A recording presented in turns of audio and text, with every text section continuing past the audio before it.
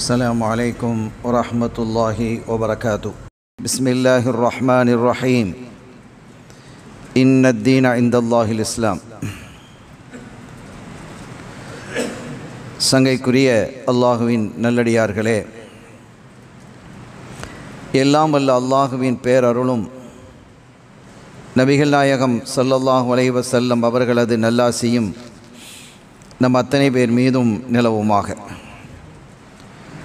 அல்லாஹும் அவனது ரசூலும் எந்தெந்த காரியங்களை எடுத்து நடக்க வேண்டும் என்று நமக்கு கட்டளையிட்டுள்ளார்களோ அவை அனைத்தையும் எடுத்து நடக்கவும். எவைகளை தவிர்ந்து நடக்க வேண்டும் என்று உத்தரவு பிறப்பித்துள்ளார்களோ அவை அனைத்தையும் தவிர்ந்து நடக்கவும் ஆரம்பமாக. எனக்கும் உங்களுக்கும் நான் வசியத்து செய்து கொள்கிறேன். அல்லாஹ் தௌஃபீக் செய்வானாக. ஆமீன். சங்கைக்குரிய பெருமக்களே இன்று ஹிஜ்ரி ஆயிரத்தி நானூற்றி நாற்பத்தி நான்காம் வருடத்தின் ரபியுலபல் ஷரீஃப் ஏழாம் நாள். சுந்தர நபியோடு சுவனம் செல்வோம் என்ற ஒரு அற்புதமான தலைப்பு வழங்கப்பட்டிருக்கிறது. அல்லாஹ் அதை நமக்கும் நம்முடைய சந்ததிகளுக்கும் நசீபாக்கி வைப்பானாக. இந்த மஜ்லிஸை கபூல் செய்வானாக. தூய எண்ணத்தோடும் தூய சிந்தனையோடும் நம் வாழ்வை அமைத்து அவனுடைய பொருத்தத்திற்கும் கண்மணி நாயகம் ஸல்லல்லாஹு உலைவ செல்லம் அவர்களுடைய பிரியத்திற்கும் உரித்தானவர்களாக நம்மையும் நம்மை சார்ந்தவர்களையும் நம் சந்ததிகளையும் அல்லாஹ் ஆக்கி அருள்பாலிப்பானாக அருமையான பெருமக்களே சுவனம் என்பது எல்லோரும் விரும்பக்கூடிய ஒன்று. அந்த சுவனத்தில் ரசூல் சல்லல்லாஹு அலைஹி செல்லம் அவர்களோடு இருப்பது என்பது மகத்தான ஒரு பாக்கியம் மாபெரும் ஒரு பாக்கியம். அது அவ்வளவு எளிதில் கிடைத்து விட முடியாது. அதற்கான வழிவகை என்ன என்பதை குறித்து பேசக்கூடிய உரையாக இன்ஷா அல்லாஹ் இந்த உரை அமையும். முதலாவதாக சுவனம் குறித்து குரான் பல இடங்களில் பேசுகிறது. நூற்றுக்கும் மேம்பட்ட இடங்களில் சுவனம் என்ற சுவனம் அல்லது சுவனங்கள் என்ற வார்த்தை இடம்பெறுகிறது. நூற்றுக்கு மேலே இடம்பெறுது. அவ்வளவு அழகு அவ்வளவு சிறப்பு அவ்வளவு மகத்துவம் அங்கே இருக்கக்கூடிய காட்சிகளை பற்றியெல்லாம் குரான் வர்ணிக்கிறது. இதை குறித்து அருள்நபி ஸல்லல்லாஹு அலைஹி செல்லம் அவர்கள் சொல்லும் பொழுது மாலா ஐனுன் ராத் ஒலா உதுனுன் சமியாத் ஒலா ஹத்தர அலா கல்வி பஷர் எந்த கண்ணும் பார்த்திராத எந்த காதும் கேட்டிராத எந்த கற்பனையாலும் சிறைபிடித்து விட முடியாத ஒரு அற்புதம் தான் சொர்க்கம் அப்படின்னாங்க. நம்ம எவ்வளவு இடங்களை பார்க்குறோம் அழகான இடங்களை பார்க்குறோம் இயற்கை வளங்களை பார்க்கிறோம் மலைகளுக்கு மேலால் மரங்கள் வளர்ந்திருந்து அந்த மரங்களை சுற்றி சுடி செடி கொடிகள் அமைந்திருப்பதை பார்க்கிறோம் மலர்களை பார்க்கிறோம் மலர் கண்காட்சிகளை பார்க்கிறோம். புதினமாக எழுப்பப்பட்ட மாட மாளிகைகள் கூட கோபுரங்களை பார்க்கிறோம். அற்புதமான கடற்கரைகளை பார்க்கிறோம். நீல வானில் வெண்ணிலா தவழ்ந்து வரக்கூடிய அந்த அழகு காட்சியை பார்க்கிறோம். இப்படி எத்தனையோ அழகுகள். நம்மை பிரமிக்க வைக்கக்கூடிய அழகுகளை பார்க்கிறோம். மனிதர்களில் ஆண்களில் பெண்களில் குழந்தைகளில் அற்புதமான தோற்றத்தை உடையவர்களை பார்க்கிறோம். என்ன அழகு என்று நாம் சொல்லுகிறோம். ஆனால் நம்ம எவ்வளவுதான் பேசினாலும் எவ்வளவுதான் பார்த்தாலும் சுவனத்தை பார்த்து விட்டால் இதெல்லாம் நத்திங் ஒன்றும் இல்லைன்னு ஆயிடும். அவ்வளவு அழகாக அல்லாதை அதை வைத்திருக்கிறான். அல்லாஹ் நமக்கு அதை நசீபாக்குவானாக. மாலா ஐனுன் ராத் ஒலா உதுனுன் சமியாத். எந்த காதும் கேட்டிராத அந்த வர்ணரை கேட்டிருக்க முடியாது. ஒரு ஆளை பத்தி நாம பேசணும் அவர் எப்படிப்பட்டவர் தெரியுமா? அவர் இப்படிப்பட்டவர். இவ்வளவு வல்லமை மிக்கவர் இவ்வளவு ஆற்றல் மிக்கவர் இவ்வளவு அறிவு மிக்கவர் இவ்வளவு ஞானம் மிக்கவர் இவ்வளவு அழகு மிக்கவர் என்றெல்லாம் நம்ம நிறைய பேசணும் அவரை பார்க்கணும்னு ஆசை வருது நம்ம பார்க்கிறோம். அல்லது அவரை பற்றி நிறைய கேள்விப்படுகிறோம். அல்லது இலக்கிய தகவல்கள் நம்முடைய காதுகளிலே வந்து விழுகிறது. சில செய்திகளை கேட்கும்போது ரொம்ப ஆச்சரியமாக இருக்கிறது. காதுகளெல்லாம் குளிர்ந்து போய் விடுகிறது. அது எந்த மதத்தை சார்ந்தவர்களாக மார்க்கத்தை சார்ந்தவர்களாக இருக்கட்டும். சில செய்திகளை சொல்லும்போது அவர்களுடைய ஸ்டைலில் அதை சொன்னால் நம்முடைய இதயங்கள் எல்லாம் சந்தோஷம் அடைகிறது இலக்கிய துறையிலே ஆழ்ந்திருக்கக்கூடியவர்களுக்கு இலக்கிய செய்திகள் பிரமிப்பை தரும். அது ஒரு பெரிய பிரியாணியாக விருந்தாக அமையும். ஆனால் சோனத்தை பற்றி நாம் எவ்வளவுதான் சொன்னாலும் அதில் கோடியில் ஒரு பகுதியை சொல்லி முடிக்க முடியாது என்கிறார்கள். ஹாத்தமுர் ரசுல் முகமது ரசூலுல்லாஹி. சல்லல்லாஹ் வலைவ செல்லம் அவர்கள் ஒலா உதுனுன் சமியாத் அடுத்தவனை சொல்கிறாங்க சொல்றாங்க பாருங்க ஒலா ஹத்தர அலா கல்வி பஷர். நீங்க யாரும் கற்பனை செய்து பார்க்க முடியாது அப்படிங்கிறாங்க. நம்முடைய நண்பர் ஒரு ஊருக்கு போகிறார் அந்த ஊர்ல ஒரு காட்சியை பார்க்கிறார். பிரமிக்கிறார். அதிசயிக்கிறார். ஆச்சரியப்படுகிறார். அப்படியே அதிர்ந்து போய்விட்டார். நம்மிடத்திலே வந்து அதை சொல்லுகிறார். அதை பார்க்கணும்பா. அந்த உலகத்தில் யாரும் அதை பார்க்காம இருக்கக்கூடாது. அந்த காட்சி அவ்வளவு அழகு. அவ்வளவு அற்புதம். அவ்வளவு புதினம் என்றெல்லாம் அந்த அற்புதத்தை பற்றி நிறைய பேசுகிறார். இப்ப கேட்ட நாம் என்ன செய்யறோம் இமேஜ் ஒரு கற்பனை பண்ணி பார்க்குறோம். இப்படி இருக்குமோ? அப்படி இருக்குமோ? அப்படிலாம் ஒரு கற்பனை பண்ணி பார்க்குறோம். ஒரு கற்பனை பண்ணி பார்த்து அது இப்படித்தான் இருக்கும் என்ற ஒரு முடிவுக்கு நாம வர்றோம். ஒரு கற்பனையில் அவர் சொன்னதை வச்சு நம்ம இப்படி இப்படிலாம் ஒரு கற்பனை பண்ணிக்கிட்டு நம்ம என்ன செய்யறோம் நமக்கு ஒரு வாய்ப்பு கிடைக்கிறது அந்த இடத்துக்கு நம்ம போகிறோம். போனால் என்ன இருக்கும்? ரெண்டே ரெண்டு. நம்ம கற்பனை பண்ணதுக்கும் இதுக்கும் சம்பந்தமே இல்லை அப்படின்னு இருக்கலாம். அல்லது நம்ம என்ன கற்பனை பண்ணமோ அப்படியே இருக்கே. அப்படியே இருக்கலாம் இல்ல? நம்ம கற்பனை பண்ணிய மாதிரியும் இருக்கலாம். கற்பனைக்கு அப்பாற்பட்டு சற்றும் தொடர்பு இல்லாமலும் இருக்கலாம். அல்லது சற்று தொடர்பு நம்ம பார்த்ததுல இந்தந்த இடங்கள் இப்படி இருக்குது இதில் நம்ம மாற்றமாக இருக்குது. அப்படி இருக்கலாம். ஆனால் நீங்கள் சொர்க்கத்தை பற்றி எப்படி கற்பனை பண்ணினாலும் அது பிழையாக அமையும். அதை நீங்கள் கற்பனை பண்ணி பார்க்க முடியாதுங்கிறாங்க சல்லல்லா அலிஸ்லாம் உங்களால் கற்பனைக்குள் கொண்டு வர முடியாது. கற்பனை சிறைக்குள்ளால் அதை கட்டுப்படுத்த முடியாது. உங்களுடைய உள்ளத்தை அது கடந்ததுங்கிறாங்க. சிந்தனையை கடந்தது என்கிறார்கள். ஒலா அகத்தர் ஆலா கல்வி பஷர். முடியவே முடியாதுங்கிறாங்க. ஏன்னா அதெல்லாம் நம்ம பார்க்கும்போது ஒரு ஒரு பாருங்களேன் ஒரு செய்தியை நான் இப்போ சொல்கிறேன் சுவனத்தினுடைய தலைவாயில் எவ்வளவு பெருசு? இப்போ ஒரு வீடு கட்டுறோம் ஒரு பள்ளிவாசல் கட்டுறோம் ஒரு ஹால் கட்டுறோம் ஒரு மால் கட்டுறோம். அதனுடைய பல வாசல்கள் இருக்கும். தலைவாசல்னு ஒன்று இருக்கும்.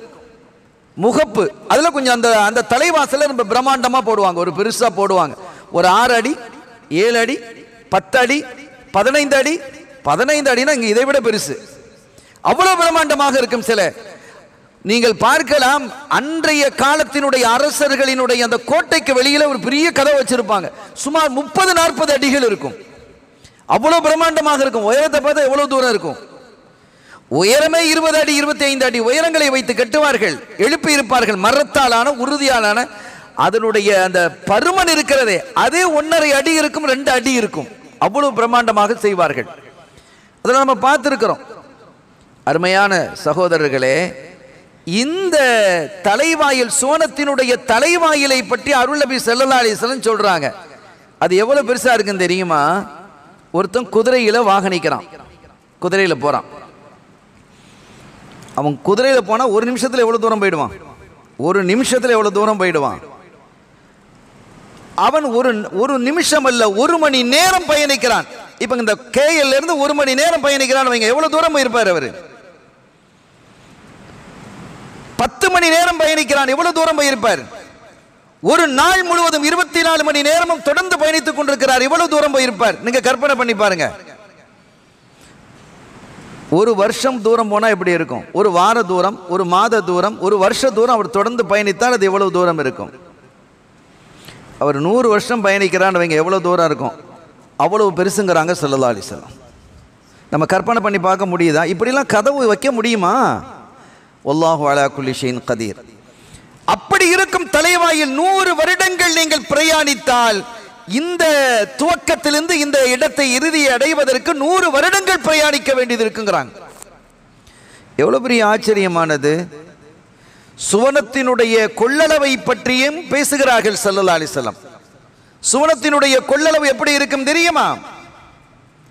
அதுல எட்டு சுவனம் இருக்குது. ஒரே ஒரு சுவனத்துல எட்டு ஏ- ஏழை விட்டுருவோம் ஒரு சுவனத்தினுடைய கொள்ளளவு எவ்வளவு என்றால் இந்த உலகத்தில் ஆதம் அலை இஸ்லாம் அவர்கள் பிறந்தது முதல் அது முஸ்லீமாக இருக்கட்டும் முஸ்லீம் அல்லாதவர்களாக இருக்கட்டும் இறைவனை ஏற்றவனாக இருக்கட்டும் ஏற்றுக்கொள்ளாதவனாக இருக்கட்டும் நல்லவனாக இருக்கட்டும் வல்லவனாக இருக்கட்டும் அல்லது பாவியாக இருக்கட்டும் எல்லாரையும் வச்சுக்கிடுவோம். எத்தனை கோடிகள் வரும். ஆதம் அலைஹிஸ்ஸலாம் அவர்கள் தொடுத்து கடைசி மனிதன் எங்கே பிறப்பான்? சீனாவிலே பிறப்பான். சொல்லலாம்னு சொல்றாங்க. கடைசி பிறப்பு சீனாவில் தான் ஆக அந்த மனிதன் ஈராக அத்துணை பேரையும் ஒரே சொர்க்கத்தில் கொண்டு போட்டாலும் அது தாராளமாக இருக்குமா? சுவனத்தினுடைய கொள்ளளவு என்னங்கிறத நீங்கள் பாருங்கள் ஒரு சுவனத்தில் அவ்வளோ கோடி கோடி கோடி மக்களை கொண்டு வந்து போட்டாலும் சுவனம் தாராளமாக இருக்கும். ஆனால் அதில் எவ்வளோ பேர் சொர்க்கம் போக போகிறாங்க நூற்றில் ஒரு பங்கு போகுமா? அல்லாவாகலம் அருமையான பெருமக்களே ஆக அவ்வளவு பெருசாக இருக்கும் சுவனம் என்பது என்று கண்மணி நாயகம் ஸல்லல்லாஹு அலைஹி செல்லம் அவர்கள் குறிப்பிட்டு விட்டு சொர்க்கத்தினுடைய அந்த வாசலை முதலாவதாக தட்டுவது நான் தாங்கிறாங்க. அவ்வளவு மண் கர அவ்வளவு மை யக்ரவுல் பாப். சுவனத்தில் அது அது பெரிய ஒரு கொண்டி இருக்கும் போல. அந்த கொண்டியை வச்சு இப்படி தட்டுவேங்கிறாங்க. தட்டும் பொழுது உள்ளே அந்த கவ காவலாளி இருக்கிறார். அவர் கேட்கிறார் கதவை தட்டுவது யாருன்னு கேட்கிறாங்க. முஹம்மத் சல்லல்லா அலிஸ்லாம் சொல்லுவாங்க. தன்னுடைய பெயரை சொன்னதும் அவங்க சொன்னாங்க உமீர் து அல்லா அஃப்தஹ இல்லால. லி அஹதின் மின் கபலிக். அல்லது லி அஹதின் கபலக். நாயகமே உங்களுக்கு உங்களை தவிர உங்களுக்கு முன்பாக இந்த கதவை திறக்க கூடாது என்று எனக்கு உத்தரவு போட்டிருக்கு. இதுக்கு முன்னால நான் யாருக்கும் திறக்கூடாது முதலாவது உங்களுக்காகத்தான் திறக்கணும். அப்படின்னு அல்லாஹ் எனக்கு உத்தரவு போட்டிருக்கிறான். அப்படின்னு கண்மணி நாயகம் செல்லல்லாஹ் அலைஹி செல்லம் அவர்கள் குறிப்பிடுகிறார்கள். சுவனத்தினுடைய அந்த சுந்தர நிலைகளை பார்ப்பதற்கும் அங்கே உள்ளே நுழையக்கூடியவர்கள் யார் என்பதை பேசுவதற்கும் குறிப்பாக சல்லல்லாலி செல்லம் அவர்களோடு யார் இருப்பார்கள் என்பதை பேசுவதற்கும் இந்த தலைப்பு ஒரு சரியான தலைப்பாக நான் பார்க்கிறேன். அங்கே பல வாசல்கள் இருக்கும். எட்டு சொர்க்கம் என்றாலும் கூட ஒவ்வொரு சொர்க்கத்திலையும் ஒரு வாசல் இருக்கும். பாபு சலா அப்படின்னு ஒரு வாசல் இருக்கும். பாபுல் ஜிஹாதுன்னு இருக்கும். தொழுகையிலே மனப்பூர்வமாக ஈடுபாடு கொண்டவர்கள் அந்த வாசல் வழியாக போவாங்க. அந்த வாசல் அழைக்கப்படுவார்கள். தொலையா தொழுகையாளிகளே வாருங்கள் என்று அழைக்கப்படுவார்கள். பாபு சதக்கான் இருக்கும். தான தர்மங்களை அள்ளி அள்ளி கொடுத்தாங்களே. அவங்க அங்கிருந்து என்ன செய்யப்படும்? அழைக்கப்படும். சதக்காவினுடைய வாசல் இருந்து தர்மவாசிகளை வாருங்கள் அப்படின்னு அழைக்கப்படும். பாபுல் ஜிஹாத் என்று இருக்கும். பாபு ரையான் இருக்கும். அது நோன்பாளிகள். இப்படி ஒவ்வொரு வாசல்கள் இருக்கும். அப்போ அந்த இடத்துல சா சலுதாசன் இதை பற்றிலாம் சொல்கிறாங்க யார் அதிகமாக இப்போ நோன்பு நோக்கக்கூடியவங்க தொழாமையே இருக்க போகிறாங்க தொழுவாங்க. ஆனால் அவங்க நோன்பில் தனி ஒரு எஷ்கு இருக்கும் இன்ட்ரெஸ்ட் இருந்திருக்கும். சுண்ணத்தான நோன்புகளை நிறைய பிடிச்சிருப்பாங்க. வியாழக்கிழமை திங்கக்கிழமை நோன்பு வைக்கக்கூடியவங்களாக இருப்பாங்க. ஐயாமுல் பீர் பதிமூணு பதினாலு பதினஞ்சு இந்த மூணு நாட்கள் நோன்பு நோக்கக்கூடியவர்கள் இப்படி சுண்ணத்தான நோன்புகளை பேண பேணக்கூடியவர்களாக அதில் ரொம்ப விருப்பம் உள்ளவர்களாக ஒரு ஐஷ்கு உள்ளவங்களாக இருப்பாங்க. மற்ற அதுக்காக தொழுகையை தொழாமே இருக்க போறாங்க. எல்லா இபாதத்தையும் செய்வாங்க. இதுல கூடுதல் பிரியம் இருக்கு அவங்களுக்கு அந்த மாதிரி ஆட்களை சாயிமூன் ரையானுக்கு நீங்க உள்ளவா ரையான் வழியாவான்னு அழைக்கப்படும். சில பேர் நோம்பலாம் வைப்பாங்க. ஆனா தொழுகைன்னு சொன்னா ரொம்ப ஈடுபாடா இருப்பாங்க. அதுல கண் குளிர்ச்சின்னு சொன்னாங்க சல்லா அலி செல்லம் தொழுகையில் என்னுடைய கண் குளிர்ச்சி இருக்கிறது என்று. அந்த கண் குளிர்ச்சியை அவர்கள் தொழுகையிலே பெறுவார்கள். அவர்கள் தொழுகை வாசலிலே அழைக்கப்படுவார்கள். இப்படி ஒவ்வொரு வாசலிலும் தர்ம அள்ளி அள்ளி கொடுத்தவர்கள் சதக்காவினுடைய வாசலிலே அழைக்கப்படுவார்கள். வாங்க தர்ம பிரபுகளை இப்படி உள் இந்த இந்த வாசலில் வாங்கன்னு அழைக்கப்படும். சித்திக் நாயகம் பிரதி அல்லா அந்த மஜில்ஸில் இருக்கிறாங்க அவங்க கேட்குறாங்க யார சொல்லலாம் எல்லா வாசல்களிலிருந்தும் அழைக்கப்படுபவர் யாராவது இருப்பாரா? போட்டி அங்கே வாட்ஸ்அப்ல இருக்கக்கூடியவங்களுக்கு இங்கே வாங்க இங்கே வாங்க இங்கே வாங்க எல்லாரும் ஒருத்தர் அழைப்பாங்களா? பாபு சலாத்துல இருந்து அழைக்கிறார். பாபுல் ஜிஹாத்ல இருந்து அழைக்கிறார். பாபு சதக்காவிலிருந்து அழைக்கிறார். பாபு ரையான்ல இருந்து அழைக்கிறார். என்னென்ன வாசல்கள் இருக்குதோ அந்த வாசல் இருந்து நீங்க இங்க வாங்க இங்க வாங்கன்னு எல்லாருமே போட்டி போட்டுக்கொண்டு அழைக்கக்கூடியது யாராவது இருப்பார்களா? அர்ஜுவான் தக்கூட மின்ஹும். அபாபக்கர் அது எல்லா தான் நீங்க அந்த லிஸ்ட்ல இருக்கிறத நான் விரும்புறேன் நாங்க நீங்க அந்த லிஸ்ட்ல உள்ள ஆளுங்கிறாங்க. அப்ப அதுல லிஸ்ட்ல ஒரு கூட்டம் இருக்கு. ஏன்னா அந்த அர்ஜு அந்த கூட மின்ஹும். அந்த கூட்டத்தில் நீங்களும் ஒரு ஆளாக இருப்பீர்கள். பெரிய ஒரு பாக்கியம் இல்லையா? அவங்கெல்லாம் விஐபி விஐபியில் விவிவிஐபி அவ்வளோ பெரிய பாக்கியத்தில் அவங்க பெறுவாங்க. அருமையானவர்களே அப்படி ஒரு சூழல் இருக்கும். இதில் இன்னொன்று ஒரு சரதான் சொல்கிறாங்க நான் தான் சொர்க்கலோகத்துக்கு முதல்ல போகிறேன் கதவை தட்டுவேன் கதவை திறப்பாங்க. கதவை திறக்கப்படும் போது நான் உள்ளே போவேன் என்ன முண்டி அடித்துக்கொண்டு ஒரு பெண் நுழைய முற்படுவாள். எனக்கு பின்னால் நிற்கிறா அவள் என்னை முந்துவதற்கு இல்ல அந்நம்ராத்தன் துபா அதிருணி என்ன முந்துவதற்காக என்ன முந்தி உள்ள போறதுக்கு ஒரு பொம்பளை ரெடி ஆகிட்டு இருக்கிறான் ஃபக்கூல் மாலக்கி அவமன்னாந்தி என்ன என்னாச்சு உனக்கு? சொர்க்கம் தானே போக போற நீ என்ன அடிச்சு பிடிச்சு உள்ள போக போறிய உனக்கு அப்- அதான் விசாலமா இருக்கே. நீ வேகமா போறதுக்கு அப்போ அல்லாஹ் அவளுக்கு ஒரு தனி ஒரு சிறப்பை கொடுக்குறான்னு அர்த்தம்.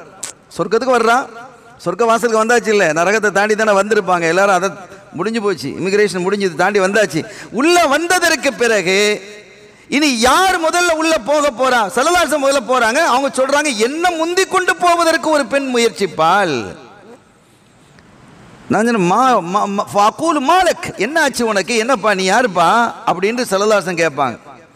ஆனா இம்ராத்துன் கஅதத் அலா எத்தாமா நாயகமே அனாதை பிள்ளைகளை பராமரிக்கக்கூடிய பெண்ணாக நான் இருந்தேன். எங்கெல்லாம் அனாதை பிள்ளைகள் இருக்கோ அத்தா இல்லை அம்மா இல்லையோ அந்த பிள்ளைகளையெல்லாம் நான் கவனிச்சுக்கிட்டேன் நாயகமே.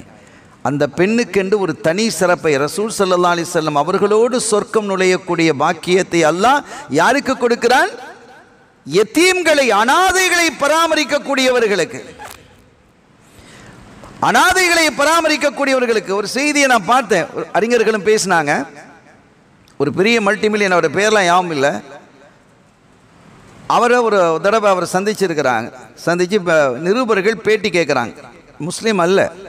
ஒரு பெரிய செல்வ கோடீஸ்வரம் மல்டி மில்லியன் அவரை சந்தித்து கேட்குறாங்க நீங்கள் இவ்வளோ பெரிய பணத்தை சம்பாதிச்சிட்டிங்க செல்வத்தை சம்பாதிச்சிட்டிங்க பல கம்பெனிகள் நடத்துகிறீங்க ஆயிரக்கணக்கான பேர் உங்கள் கம்பெனிகளை பணியாளர்களாக ஒர்க் பண்ணுறாங்க நீங்கள் சந்தோஷம் அடைந்தது எது அப்படின்னு சொல்லும் பொழுது நான் பணத்தை சேர்ப்பது தான் எனக்கு சந்தோஷம் என்று நான் சேர்த்து சேர்த்து பார்த்தேன். ஆனால் உண்மையில் நான் நிறைய சேர்த்துட்டேன். இளம் வயதிலிருந்து நான் சேர்த்து கொண்டிருக்கிறேன். பல கோடி டாலர்ஸ் சேர்த்து வச்சிருக்கிறேன். ஆனால் எனக்கு உண்மையிலேயே மன நிம்மதி கிடைக்கல பெரிய மாளிகைகளை கட்டி வசதியாக வாழணும் அப்படின்னு நினச்சி நான் கட்டினேன். அதுலேயும் எனக்கு ஒரு அந்த மாதிரி செஞ்சேன். இப்படி நிறைய விஷயங்களை நான் செய்து செய்து பார்த்தேன். மனைவியோடு நான் எல்லா இடங்களுக்கும் போகணும் அப்படின்னு பார்த்தேன். ஒன்றுமே எனக்கு பெருசாக ஒன்றும் அவ்வளோ மன நிறைவான ஒரு சந்தோஷம் எனக்கு கிடைக்கவில்லை அப்படின்னு அவர் சொல்கிறார் சொல்லிட்டு ஒரு நாள் என்னுடைய நண்பர் என்னிடத்துல வந்தார். வந்து சொன்னார் இங்கே ஒரு அனாதை நிலையம் இருக்கு. அந்த அனாதை நிலையத்தில் நிறைய பிள்ளைகளுக்கு பெரும்பாலான பிள்ளைகள் யுத்தங்களில் கை கால் இழந்த பிள்ளைகளாக இருக்கிறாங்க. அவங்களுக்கு இந்த ட்ரை சைக்கிள் அந்த வச்சு இப்படி ஓட்டுறது இருக்குல்ல. அந்த சைக்கிள் ஒன்று நீங்கள் உட்காந்து போகக்கூடிய சைக்கிள் நீங்கள் ஒன்று வாங்கி கொடுக்கணும். அவங்க மூவாயிரம் மற்ற இடங்களுக்கு போகிற மாதிரி சைக்கிள் இருக்குது. அது ஒரு இரநூறு சைக்கிள் இரநூறு சைக்கிள் தான் அவருக்கு ஒன்றும் இல்லாது.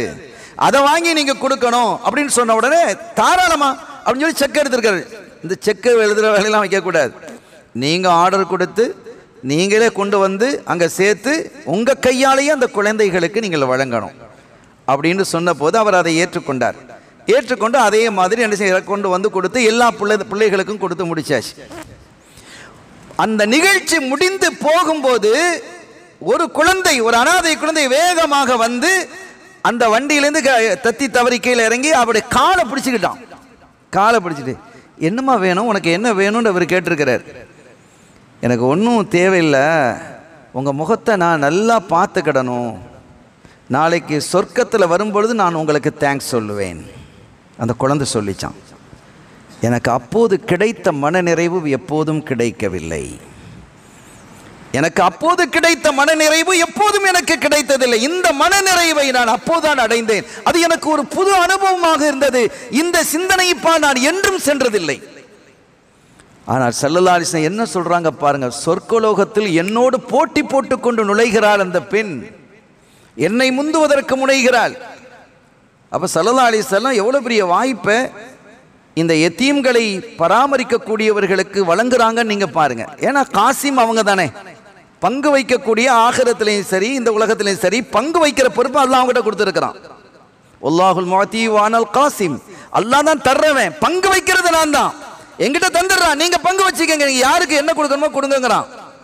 அருமையானவர்களே அந்த அடிப்படையிலே ஸல்லல்லாஹு அலைவ செல்லம் அவர்கள் இந்த எத்தீம்களை பராமரிக்கக்கூடியவர்களுக்கு எவ்வளவு பெரிய பாக்கியத்தை கொடுக்குறாங்கன்னு பாருங்க.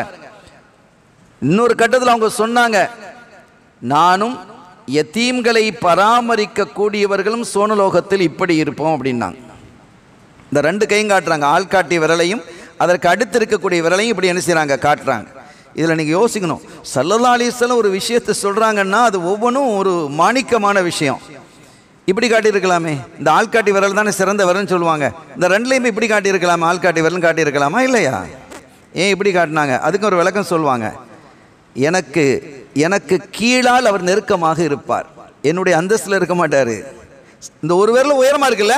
ஒரு வயல் கொஞ்சம் அந்த விரல் ஆள்காட்டி விரல் கொஞ்சம் கம்மியாக இருக்குல்ல? ஆகவே என்னுடைய அந்தஸ்துக்கு நெருக்கமாக அவர் இருப்பார். அவ்வளவு பெரிய பாக்கியத்தை அல்லாஹ் அவருக்கு கொடுப்பான். எத்தீமை யார் பராமரிக்கிறாரோ அவருக்கு அவ்வளவு பெரிய பாக்கியத்தை கொடுப்பான் இன்ஷா அல்லாஹ் இந்த உரையினுடைய இறுதியிலே சமீபத்தில் நடந்த ஒரு தகவலை நான் சொல்ல இருக்கிறேன். ஏன்னா பத்திரிகையெல்லாம் அது வந்திருக்குது. கொய்த்தில் நடந்த ஒரு நிகழ்வு. நான் இறுதியாக அதை இன்ஷா அல்லாஹ் நான் சொல்லுவேன். அருமையான பெருமக்களே இவ்வளவு பெரிய ஒரு பாக்கியம் சொர சொர்க்கத்தில் நூறு தரஜாக்கள் இருக்கிறதா சொல்கிறாங்க ஹதீதுகளில் வருது சொர்க்கலோகத்தில் மேத்துதா ரஜத்தின் நூறு தரஜாக்கள் இருக்கும். எல்லாரும் ஒரே கேட்டகரியில் இருக்க முடியாதுல்ல? அல்லாவுக்காக வேண்டி ரசூலுக்காக வேண்டி இந்த தீனுக்காக வேண்டி உயிரை கொடுத்தவர்களும் சாதாரணமாக தொழுகை இதை மட்டும் செஞ்சுட்டு அப்படியே சொர்க்கம் போனவங்களும் ரெண்டும் சமமாயிட முடியுமா? தர்மவாதிகள்லையே எத்தனை தர்ம எத்தனை விதமான தர்மவாதிகள் ஒருத்தர் ஒரு கோடி ரூபா வச்சிருக்கிறாரு ஒரு கோடி ரூபா வச்சிருக்கும் போது ஒரு தர்மம் செய்கிறாரு பத்து லட்ச ரூபா தர்மம் செய்கிறாரு இன்னொருத்தர் என்ன செய்கிறாரு ஒரு கோடி ரூபா வச்சிருக்கிறாரு. அவர் ஒரு லட்ச ரூபா தர்மம் செய்கிறாரு இன்னொருத்தரும் ஒரு கோடி ரூபா வச்சிருக்கிறாரு. அவர் ஆயிரம் ரூபா தர்மம் செய்கிறாரு எல்லாம் ஒன்றா ஒன்றும் இல்லை. தர்மம் செய்த அந்த வாசலில் நுழைந்தவர்களே கூட பல கேட்டகரியில் வித்தியாசமாக இருப்பாங்க. நூறு தரஜாக்கள். ஒவ்வொரு தரஜாக்களுக்குள்ளும் பல தரஜாக்கள் இருக்கும். அந்தஸ்து இருக்கும். கேட்டகரிஸ் இருக்கும். ஒவ்வொரு தரஜாக்கும் இடையிலே உள்ள தூரம் எவ்வளவு தெரியுமா? அது இதுகளில் வருது. தரஜாக்களிலே இருக்கக்கூடிய அந்த கேட்டகரிக்கும் இந்த கேட்டகரிக்கும் இடையிலே உள்ள தூரம் எவ்வளவாக இருக்கும் தெரியுமா? இங்கிருந்து நம்ம நட்சத்திரத்தை பார்க்குறோமா இல்லையாவா இங்கிருந்து பூமியில் நட்சத்திரத்தை பார்க்குறோமா? அவ்வளோ தூரம் இருக்குங்கிறாங்க சல்லா அலிஸ்லாம் ஆனால் பெருசாக ஏக்கங்கள் இருக்காது. அந்த கல்பில் வலி இருக்காது. நம்ம அப்படியெல்லாம் போயிட்டோமே. அதையெல்லாம் அல்லாஹால என்ன செய்யணும் சொர்க்கத்துக்குள்ளே நுழையும் போது அதை வழி எடுத்துருவான்.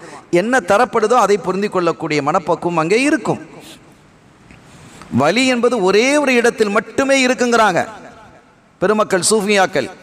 ஒரே ஒரு இடத்தில் மட்டும் அவர்களுக்கு வலிக்கும்.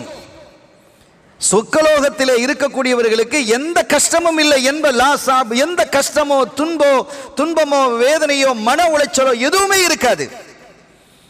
ஏன் அவர்கள் சிறுநீர் கழிக்க மாட்டார்கள்? மலம் கழிக்க மாட்டார்கள்? எச்சில் துப்ப மாட்டார்கள்? மூக்கை சீர மாட்டார்கள்? இந்த உடலில் இருந்து என்ன அசுத்தங்கள் இருக்கிறதோ அல்லது அருவருப்பானவை வெளியாகிறதோ அது எதுவுமே அங்கே வெளியாகாது. வியர்வை மட்டும் வரும் அந்த வியர்வையும் மனமானதாக இருக்கும் வாசமாக இருக்கும். இந்த காலத்தில் வியர்வை அப்படி இருக்காதுல்ல? வியர்வை வந்து அதுதான் பள்ளி வாசலுக்கு வரும்போது குறிப்பாக வெள்ளிக்கிழமையெல்லாம் வரும்போது குளித்து நல்லா என்ன செய்யணும் அத்தரை பூசிட்டு வாங்கங்கிறாங்க. ஏன்னா அடுத்தவர்களுக்கு அது டிஸ்டர்பாக இருக்கக்கூடாது. உடலிருந்து வரக்கூடிய இந்த வியர்வை வாடை உழைப்பினுடைய அடையாளம் அது. அது வேறு விஷயம். அது அடுத்தவர்களுக்கு முகத்தை சுளிப்பது போன்று இருக்கக்கூடாது. பள்ளி வாசலில் வந்தால் இறை சிந்தனையோடு இருக்கணும். அப்போ மனமாக இருக்கணுங்கிறாங்க. பள்ளி வாசலில் புகார் போடுங்க. சுண்ணத்து அது. பு- புகை போடுவது என்பது சுண்ணத்து. நம்ம ஹரம்லாம் பார்க்குறோமா இல்லையா? சட்டியை வச்சுட்டு அப்படியே சுற்றுறாங்க அருமையான பெருமக்களே எனவே அங்கே எந்த கஷ்டமும் இருக்காது எந்த வேதனையோ மன உளைச்சலோ சங்கடமோ பிரச்சனையோ எதுவும் இல்லாத வாழக்கூடிய ஒரு இடம்தான் சுவனம். மனநிறைவாக வாழக்கூடிய ஒரே ஒரு இடத்தில் மட்டும் வலிக்கும். அது என்னங்கிறது தொடரில் நம்ம பேசுவோம். கண்ணியத்திற்குரிய பெருமக்களே ஒரு கட்டத்தில் மூசா அலி இஸ்லாம் சொல்கிறாங்க யா சொர்க்கலோகத்தில் எத்தனையோ தரஜாக்கள் இருக்குது அதில் ஆக குறைஞ்ச தரஜா எது? அப்படின்னு கேட்குறாங்க அஹ்பிர்னி அன் ஆதுனல் ஜன்னா. சோனலோகத்திலேயே ஆக குறைந்த தரஜா எது? இதை விட ஒன்றும் இல்லை. ஆக குறைஞ்சது இதுதான் கடைசி. அது என்னது? அப்படின்னு கேட்கும்போது அல்லாஹ் சொன்னால் அப்படி ஒரு தரஜா இருக்கு. ஒருத்தன் வருவான் அவன் என்ன செய்வான்? அட சொர்க்கலோகத்து அவன் தான் கடைசியாக சொர்க்கம் போகிறவன் சொர்க்கலோகத்துக்கு போ அப்படின்னு சொன்ன அனுப்புனதுக்கு பிறகு முன்னால் நிறைய செய்திகள் வருது. பல செய்திகள் நம்ம சொல்லணுங்கிறதுனால நான் அதை சுருக்குகிறேன். அருமையானவர்களை சொர்க்கலோகத்துக்குள்ளே அவன் உள்ளே போன உடனே அங்கே அது இதில் எழுதுகிறாங்க அவர் அவர்கள் தங்களுடைய இடங்களை எடுத்துக்கொண்டு அவங்கள இடத்துல இருக்கிறாங்க. அப்போ இவன் சொன்னால் யா எல்லாம் அவங்கெல்லாம் நேரத்தோடைய வந்து எல்லாரும் அவங்கவுங்க இடத்துல எடுத்து உட்கார்ந்துருக்கிறாங்களே நான் எங்கே போக? அல்லாஹ் சொன்னானா உலகத்தையே ஆண்ட அரசன். உலகத்தையே முழுவதுமாக ஆண்டான் இல்லையா? நாலு பேர் ஆண்டிருக்கிறாங்க. உலகத்தையே ஆண்ட அரசர்கள் உண்டா இல்லையா? ஆமாம் ரப்பி நாம் ரப்பி. அவன் எவ்வளவு தூரம் ஆட்சி செய்தானோ அதே மாதிரி உனக்கு தரட்டுமா? பொருந்திக்கிடுவியா? அந்த மாதிரி தந்தா உனக்கு பொருத்தம் தானா? ஓகே தானா? அப்படின்னு நல்லா கேட்குறான். உலகம் அளவுக்கா? ஆ ஓகே. சரி அப்படிங்கிறான். அதை மாதிரி ரெண்டு மடங்கு தந்தா எப்படி இருக்கும்? சரி அப்படி- அதே மாதிரி பத்து மடங்கு கொடுப்பதாக. சொர்க்கலோகத்தில் எவ்வளவு பெரிய இடங்கள் இருக்கிறது? அந்த சொர்க்கலோகத்தினுடைய இடங்கள் எவ்வளவு அற்புதமானது ஆச்சரியமானது என்பதை குரானும் அதீதும் விரித்து பேசும். அருமையான பெருமக்களே அவ்வளவு இன்னஃபில் ஜன்னத்தில் அகூரஃபன் யுரா லுஹூருஹா மின் புத்தூனிஹா வ புத்தூனுஹா மின் துஹூரிஹா சொல்லலாம்னு சொல்கிறாங்க அற்புதமான சில அறைகள் இருக்குது. அந்த அறைகளிலேருந்து இருந்து வெளியில் பார்க்கலாம். வெளியிலேருந்தும் உள்ளே பார்க்கலாம். வெளியில் உள்ளே இருந்தும் வெளியில் பார்க்கலாம் வெளியிலிருந்தும் உள்ளே பார்க்கலாம். சில பொழுது அவங்க நினைச்சா வெளியில உள்ளே பார்க்க முடியாது. இப்படியெல்லாம் சில அற்புதமான காட்சிகள் இருக்கும். அந்த அறைகளினுடைய அற்புதம் இருக்குது. ரொம்ப அற்புதமாக இருக்கும் அழகாக இருக்கும். அதை வார்த்தைகளால் வர்ணிக்க முடியாது. அவ்வளோ ஆச்சரியமான அதை கட்டிடம் அப்படிங்கிறாங்க சல்லா அப்போ அங்கே இருந்த ஃபக்காம் ஆராபியன் ஒரு கிராமவாசி கேட்டார் அவருக்கு அது பிடிச்சிருச்சு. லிமன் ஹிய அது யாருக்கு கிடைக்கும் அந்த மாதிரி பில்டிங்ஸ்லாம் லிமன் தையபல் கலாம் வாத்த அமத் தாம் ஒசல்லா பில்லைலி ஒன்னாசு நியாம் சலதாசன் சொல்கிறாங்க அது யாருக்கு தெரியுமா? முதல்ல மூணு மூணு விஷயம் சொல்கிறாங்க இந்த மூன்று விஷயம் யாரிடத்தில் இருக்கிறதோ அவர்களுக்கு இந்த மாளிகைகள் கிடைக்கும். இந்த அற்புதமான கண்ணாடி மாளிகைகள் கிடைக்கும்.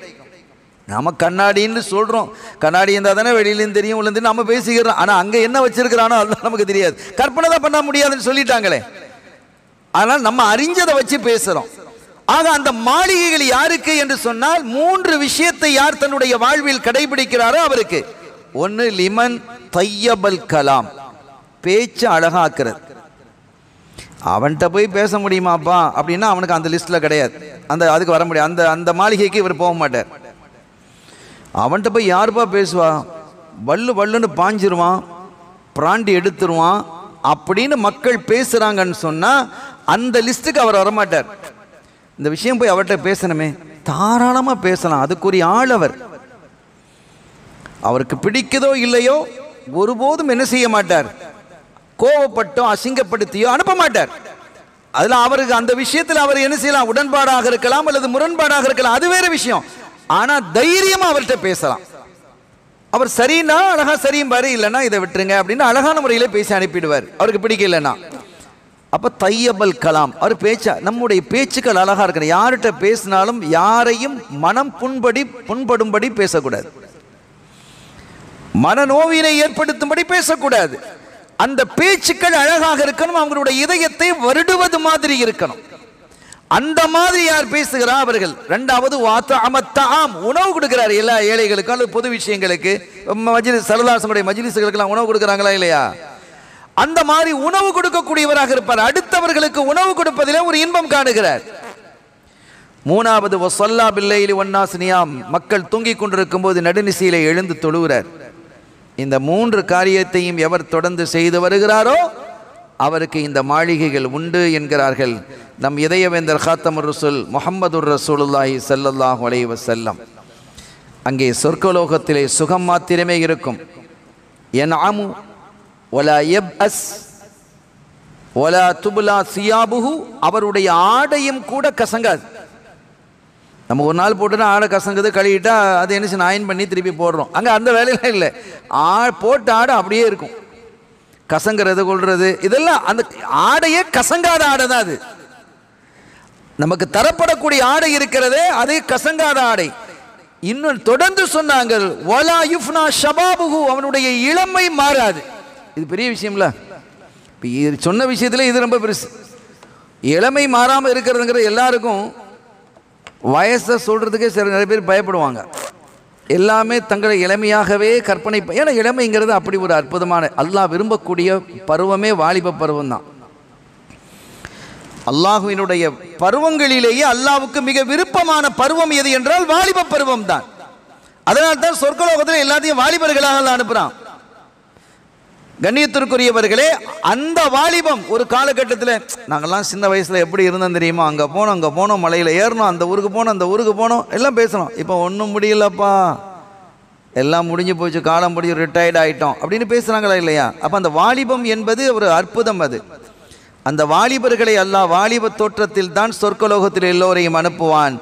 ஆனால் அந்த வாலிபம் என்பது முடிந்து போகாது. எப்படி அனுப்புறாலும் அப்படியே ஆயிரம் வருடங்கள் கடந்துக்கு பிறகு அப்படியே இருப்பாங்க.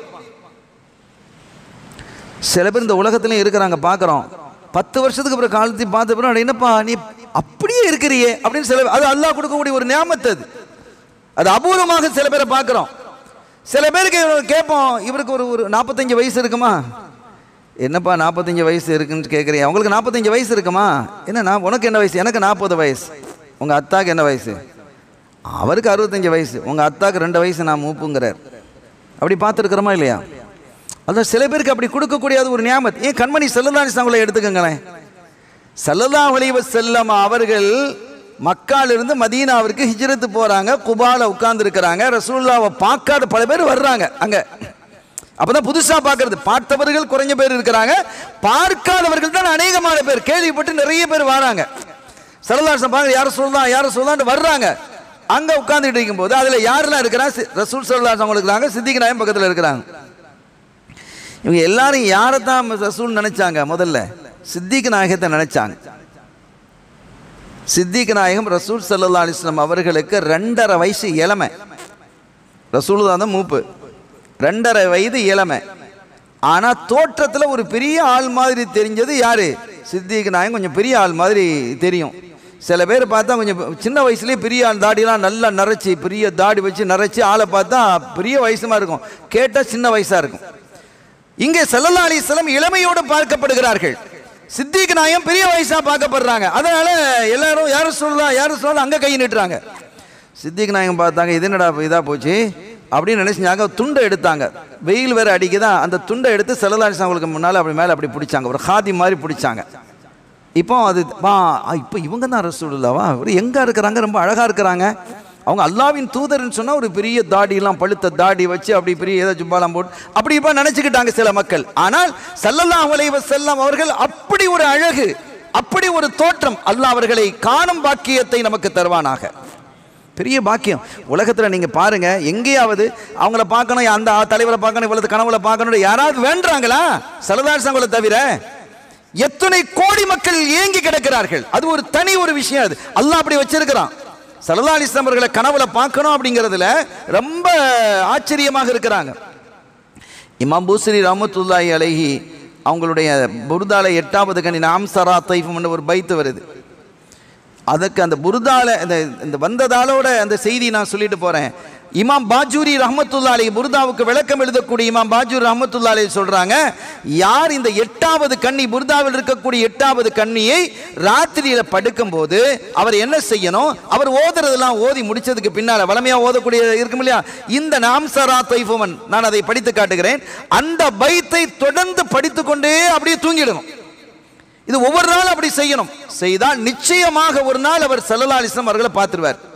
அல்லாஹ் நமக்கு நசீபாக்கி வைப்பானாங்க நாம் சாரா தைஃபுமன் அஹ்வா ஃபர்ரகனி والحب يعترض اللذات بالألم இந்த பைத்தை அப்படியே தொடர்ந்து நம்ம என்ன செய்யணும் நம்ம சத்தமோடு ஓது நம்ம உங்களுக்கு விளங்குறதுக்காக பயானில் சொல்கிறோம் நம்ம வீடுகளில் உட்காந்து அமைதியாக படுக்கையில் உட்காந்துக்கிட்டு அப்படியே என்ன செய்யணும் வகால பாலிகின்னாவும் அப்படிங்கிறாங்க தூக்கம் வர்ற வரைக்கும் அது அப்படியே ஓதிக்கிட்டே இருந்தால் ஒரு காலகட்டத்தில் சல்லல்லா அலிஸ்லாம் அவர்களை கண்டிப்பாக அவர் பார்ப்பா இது முஜர்ரப்.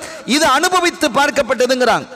அப்போ சல்லல்லா அலிஸ்லாம் அப்போ இந்த உலகத்தில் வாழும்போதே சில பேர் இளமையோடு வாழ்ந்திருக்கிறாங்க. கண்மணி சல்லல்லா அலிஸ்லாம் வாழ்ந்திருக்கிறான். சொர்க்கலோகத்துக்குள்ளே போயிட்டா எல்லாரும் இளமையோடு தான் இருப்பாங்க. தாடிலாம் நரைக்கமான தாடியே இருக்காது. சொர்க்கத்துக்குள்ளே போகக்கூடியவர்களுக்கு தாடி மீசையெல்லாம் கிடையாது. அதனால் இப்போ தாடி மீசை இல்லாதவங்களாம் இப்போ வச்சுக்கணும். அங்கே போனால் தாடியெல்லாம் கிடையாது. சல்லல்லாஹு அலைவ செல்லம் அவர்கள் மேராஜுக்கு போகிறாங்க சொர்க்கலோகத்தை பார்க்கிறாங்க. சொர்க்கலோகத்தை பார்க்கும் பொழுது அதில் நான்கு நதிகள் ஓடுகிறது. குரான் அதை சொல்லுது. தண்ணீர் ஆறு தண்ணீரில் ஒரு ஓடுது மதுவில் ஒரு ஆறு ஓடுது பாலாறு தேனாறு நீராறு பாலாறு தேனாறு மதுவாறு என்று நாலு ஆறுகள் ஓடுது. மது ஆறுன்னு சொன்னால் அதில் போதை இருக்காது. போதை இல்லாத மது. அதில் தனி ஒரு சுவை அல்லாஹ் வச்சிருக்கிறான். அல்லாஹ் அந்த ஆறுகளிலே அருந்தக்கூடிய பாக்கியத்தை நமக்கு நசீபாக்குவானாக. சல்லா அலிஸ்லாம் அதை பார்த்துட்டு அதனுடைய அழகையும் அந்த சுவையும் பார்த்துட்டு கேட்டாங்களாம் இது எங்கேருந்து உற்பத்தி ஆகிறது ஜிப்ராஹிம் என்ன அழகாக இருக்குது அது ஓடக்கூடிய அந்த முறையும் அதனுடைய அந்த தோவானம்லாம் வச்சுருக்கமா இல்லையா? அதில் மாணிக்க மரகதங்களாக தான் ரெண்டு பக்கமும் இருக்குது. அந்த ஓரங்கள் இந்த படித்துறைகள் இருக்கும் இல்லை ஆற்றுகளில் வாய்க்கால்களில் படித்துறைக்கு கட்டி வச்சுப்பாங்க. படியில் இறங்குற மாதிரி கட்டி வச்சுப்பாங்க. அப்படியே அரசாங்கம் கட்டி வச்சுருக்கோம். அங்கே என்ன இருக்குன்னு கேட்டால் அங்கேயும் படித்துறைகள் இருக்கிறது. மாணிக்கங்கள் மரகதங்களாக இருக்கிறது. கீழே உள்ள மணலாக இல்லை கஸ்தூரியாக இருக்கிறது. அவ்வளவு சுவை அவ்வளவு சுகம் அவ்வளவு மனம். அப்ப கேட்டாங்களா இது என்ன அழகு என்ன அற்புதம் என்ன சுவை என்ன மனம்? இது எங்கிருந்து உற்பத்தி ஆகிறதுன்னு கேட்டாங்களாம். அப்போ அவங்க ஜிப்ரன் சொன்னாங்க யார் சொல்ல எனக்கு தெரியாது. நான் படைக்கப்பட்ட காலத்திலேருந்து எனக்கு நினைவுள்ள காலத்துலேருந்து இதை பார்த்துக்கிட்டு இருக்கேன் ஓடிக்கிட்டு தான் இருக்குது. எங்கேருந்து வருதுன்னு தெரியாது. அப்போ அந்த நேரத்தில் ஒரு மலக்கு வந்தாங்களாம். வேற ஒரு மலக்கு வந்து யார சொல்லலாம் உங்களை அல்லாஹு இதை உற்பத்தி ஆகக்கூடிய இடத்துக்கு அழைத்து போக சொன்னா நீங்கள் அவங்க ஸ்பெஷல் மேலே கலக்கிறான் அவங்க போகிறாங்க சல்லா அலிஸ்லாம் அவர்களை அழைச்சிட்டு போய் ஒரு- தூரத்திலிருந்து அல் அவங்க காட்டுறாங்க யாரை சொல்லா பாருங்க. அதை பாருங்கன்னு சொன்ன ஒரு பெரிய குப்பா. பள்ளிவாசலில் பள்ளிவாசல் எப்படி குப்பா இருக்குல்ல அந்த மாதிரி ஒரு குப்பா அங்கே இருக்குது அந்த குப்பாவை குறித்து சல்லா சொல்றாங்க. இந்த குப்பா எவ்வளவு பெருசு அப்படின்னா ஒரு காடு இருக்குன்னு வைங்க ஒரு காடு. அந்த காட்டுக்குள்ள ஒரு வளையம் சின்ன ஒரு வளையத்தை தூக்கி நம்ம போட்டோம். ஒரு காட்டுக்குள்ள ஒரு வளையத்தை தூக்கி போட்டால் அந்த காட்டுக்குள்ள அது ஒரு சின்ன ஒரு இடத்தை தான் அடைச்சிக்கிடும். அவ்வளோதானே இவ்வளவு பெரிய காட்டில் இது இருக்குன்னு வைங்களேன் இந்த இது ஒரு வளையமாக வச்சுக்கணும். இந்த இடத்துல இது ஒரு வளையம் போட்டால் இது ஒரு பெருசாக இடத்தை அடைக்க போதா? இல்லை. இதை விட நூறு மடங்கு ஆயிரம் மடங்கு லட்சம் மடங்கு கோடி மடங்கு இந்த இடத்தை விட இந்த பள்ளியை விட. பல கோடி மடங்கு நூறு கோடி மடங்குன்னு வச்சுங்க. அதில் இதை போட்டால் ஒன்றுமே இல்லை. இதை நினச்சே பார்க்க மாட்டாங்க.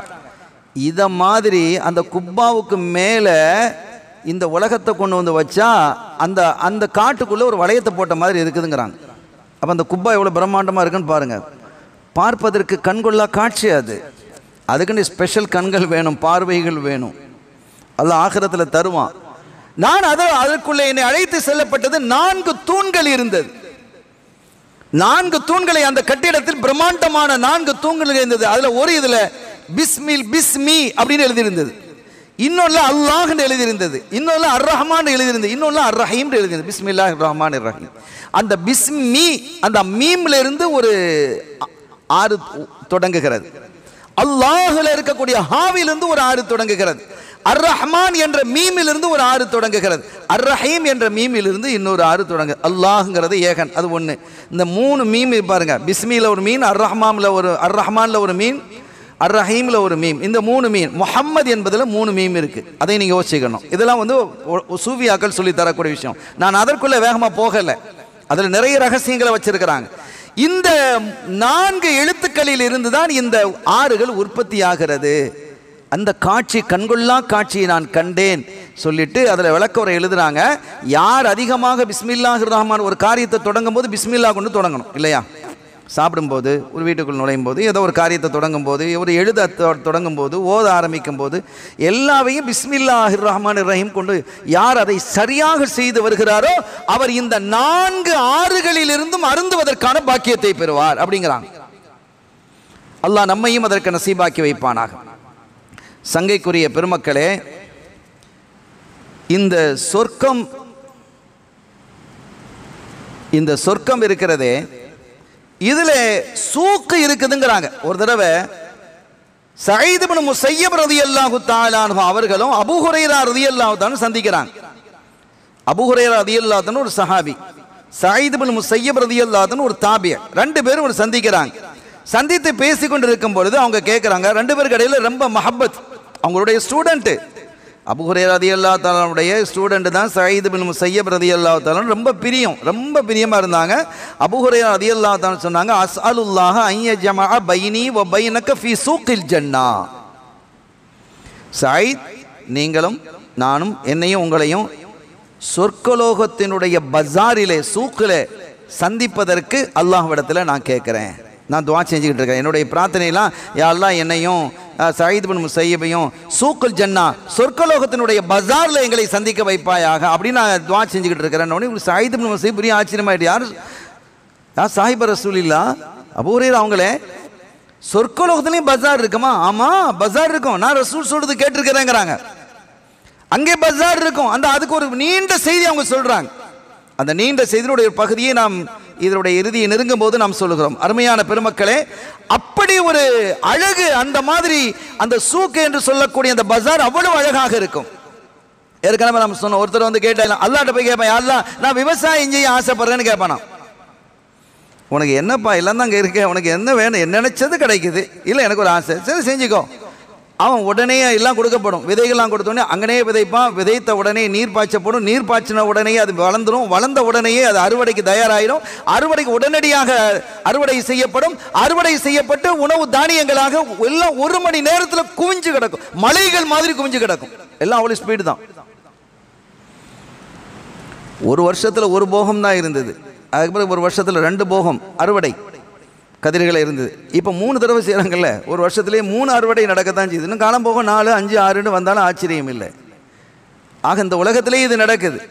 சொர்க்கலோகத்தில் ஒரு மணி நேரத்தில் எல்லாம் முடிந்து போய்விடும். அப்படி ஒரு அற்புதம் அங்கே. சுவன மனைவிகள் என்று வரும் பொழுது ஒவ்வொருவருக்கும் இரண்டு ஹூருல் ஜென் குறைந்தபட்சம் இருக்கும். ஆக குறைஞ்சது இன்ஷா அல்லாஹ் நமக்கு ரெண்டு மனை சொர்க்க நம்ம ஊரில் இருக்கக்கூடிய மனைவிகள் அல்லாமல். நம்ம கல்யாணம் கட்டி இல்லை அந்த மனைவிகள் இல்லாமல் ரெண்டு மனைவிகள் என்ன செய்வாங்க? எக்ஸ்ட்ராவாக இருப்பாங்க. ரெண்டு துணைவிகள் சுவன பெண்கள் நமக்கு தரப்படும். அவர்களுடைய அழகுன்னு அழகு. அதில் ஒரு ஹதீதை பார்த்தேன்.